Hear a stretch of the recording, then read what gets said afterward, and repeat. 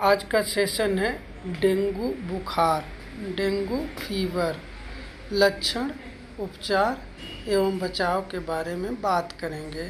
आप लोग ऑनलाइन आ जाइए और देखते हैं।